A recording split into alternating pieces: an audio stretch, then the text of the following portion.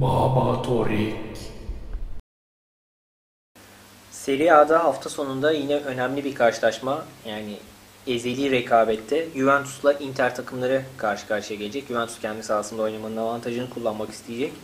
Inter takımı e, Leonardo göreve geldikten sonra son oynadığı 6 lig maçının 5'ini kazandı.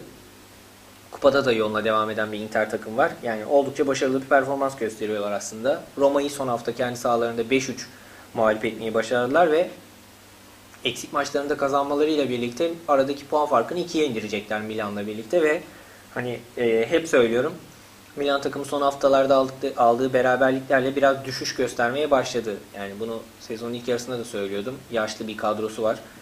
Inter takımı toparladığı sürece yani seri galibiyetlerine başladığı sürece şampiyonluğun en güçlü adayı olur e, düşüncesindeydim ve yavaş yavaş Inter takımı ısınmaya başladı. Yani şampiyonun şu anda bana göre en güçlü adayı olarak duruyorlar. Juventus'ta 3 hafta ard arda kaybettikten sonra geçtiğimiz hafta aldığı bir galibiyet vardı. Cagliari deplasmanında. Önemli bir galibiyetti aslında. 3 birlik bir galibiyet aldı. Ee, en önemlisi de aslında Luca Toni'nin yeni transfer Matri'nin golle buluşmasıydı. Toni çok güzel bir kafa golü attı. Ceza sahası dışından attığı bir goldü. Belki o da ilerleyen haftalarda Juventus takımında e, biraz daha moralli oynayacaktır. Yani biraz daha moral kazanacaktır.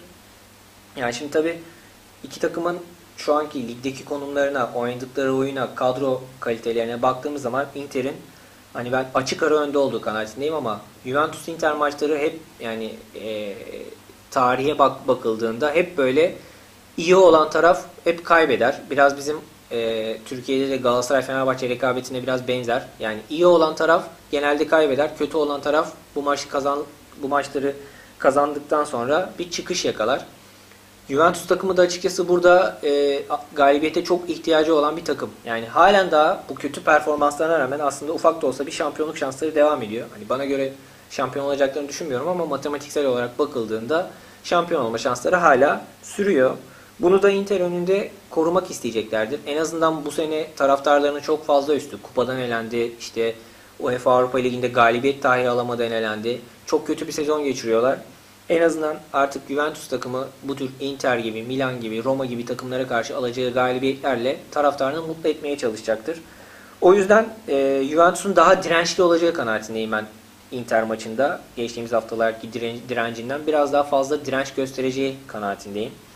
O yüzden bu karşılaşmalarda tabii tecrübeli oyuncuların da çok fazla e, ön plana çıkabileceği karşılaşmalar bunlar derbi karşılaşmaları.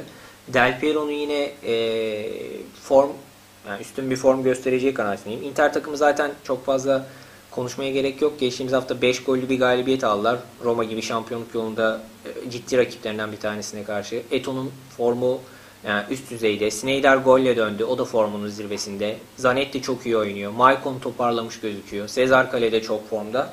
O yüzden yani iki takımın da birbirine gol atabilecek kapasitesi var. Yine bu karşılaşma ile ilgili ben e, üst tercihine yöneleceğim. 2.5 gol üstü bu karşılaşma ile ilgili en mantıklı seçim olacaktır. Baba Torik.